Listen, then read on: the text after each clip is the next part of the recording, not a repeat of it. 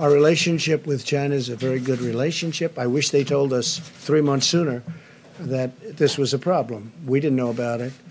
Uh, they knew about it, and they should have told us. We could have saved a lot of lives throughout the world. But I'm a little upset with China, I'll be honest with you, because as much as I, I like President Xi and as much as I respect the country and and admire the country. I have great admiration for the country, what they've done in a short period of time. Of course, our presidents, our previous presidents, allowed that to happen. You should say thank you very much to all of them. But uh, they should have told us about this. And I did ask him whether or not we could send some people in. They didn't want that. Out of pride, I think really out of pride. They don't want they don't want us sending people into China to help them. You know, China's a strong country. They have uh, they have their scientists and they have their doctors, very smart. A lot of people, I, you know. But I did discuss that about sending our people in, and uh, they didn't really respond. We went again; they didn't respond. If they went in, they would have been able to tell us, give us a much earlier indication. But we had an early indication. That's why I closed out China. I mean, I felt it was my instinct, but that's why I closed out China at a very early time.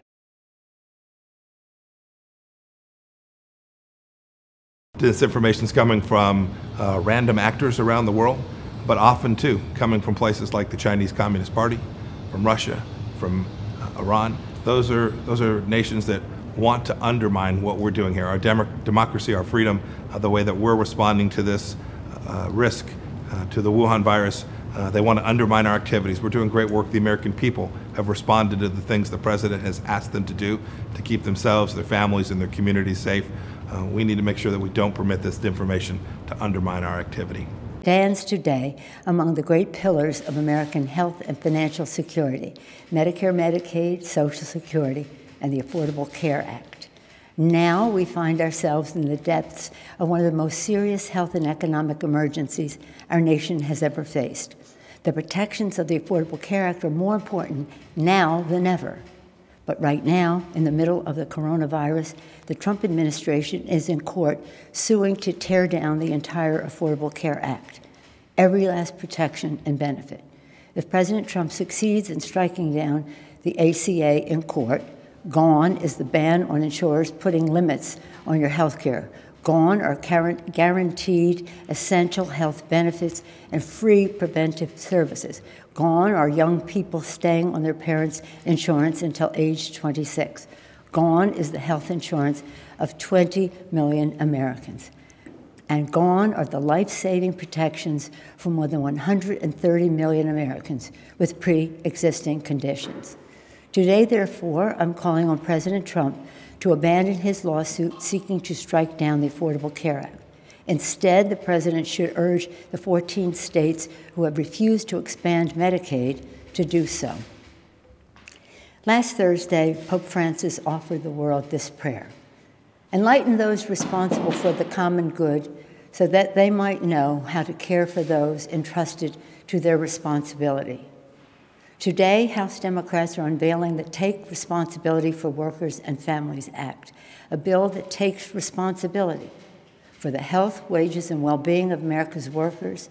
Democrats take responsibility for our workers. We require that any corporation that takes taxpayer dollars must protect their workers' wages and benefits, not CEO pay, stock buybacks, or layoffs. We strengthen unemployment insurance so that it can replace the average wages of our workers who are losing their jobs and hours.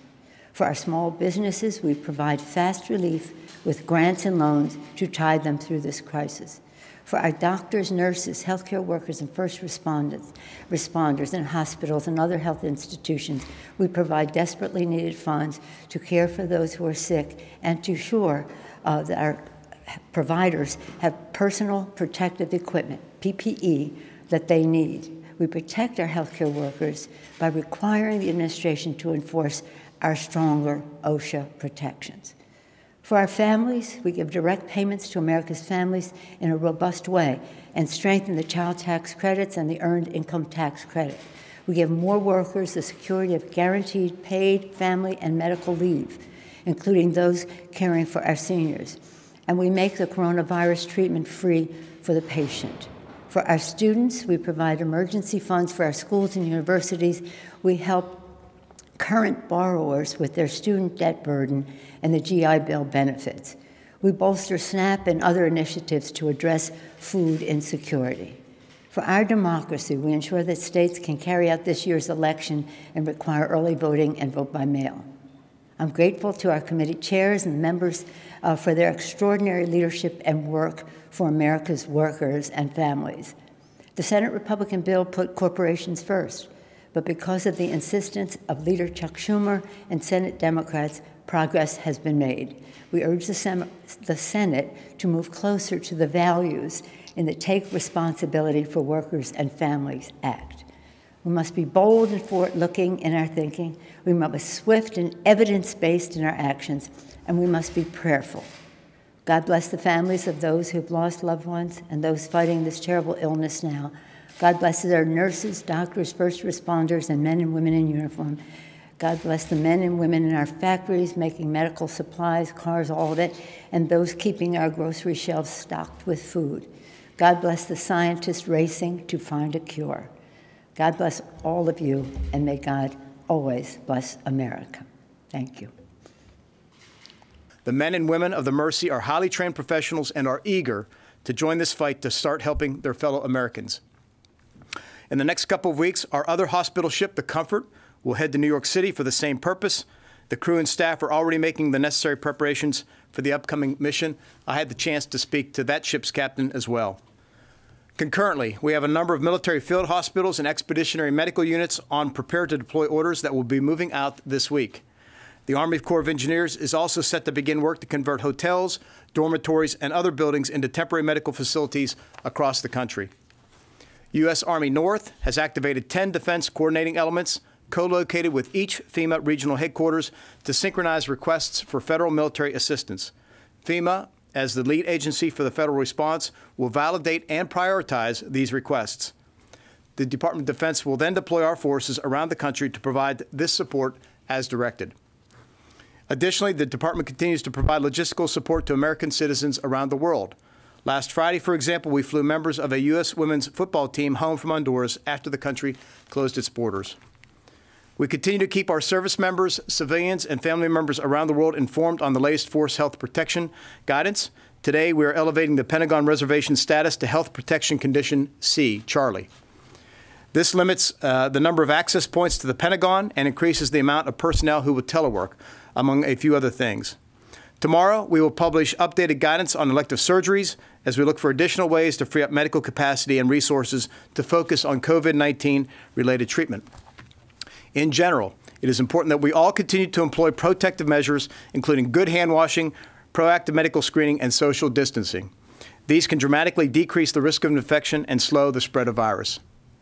The United States military remains well prepared to defend the nation.